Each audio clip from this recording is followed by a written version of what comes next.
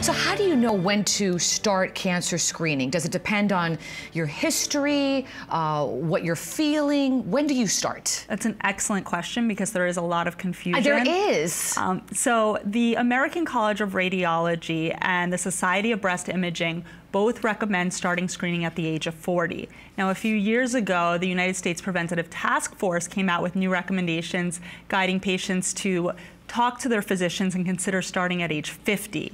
As a breast surgical oncologist, I still recommend, and Baptist also recommends, the Miami Cancer Institute recommends, starting at the age of 40. And the reason for that is that starting at the age of 40 really is the way to save the most lives.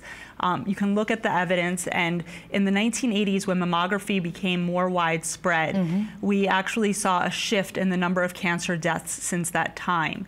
And so for 50 years, the cancer mortality rate from breast cancer remained steady. And then when mammography came about, those rates started to decline. And so in 2015, they looked at the numbers, and the cancer death rate from breast cancer declined to four, by 43% after mammography became widespread. And so that really says a lot.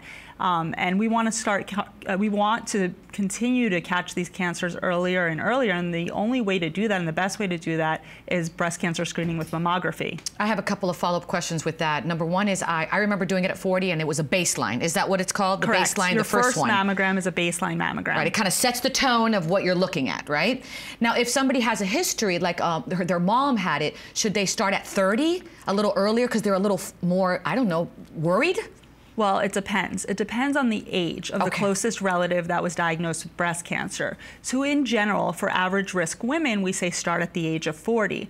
Now, certain women are not average risk. They're considered high risk. So if your mother was diagnosed with a breast cancer at the age of 45, then we actually say start screening 10 years prior to that. And so that woman would want to start screening at the age of 35. There are other women that are considered high risk, maybe because of genetic mutations um, or for other reasons. And those women also might want to start screening earlier. So it's a very personalized decision.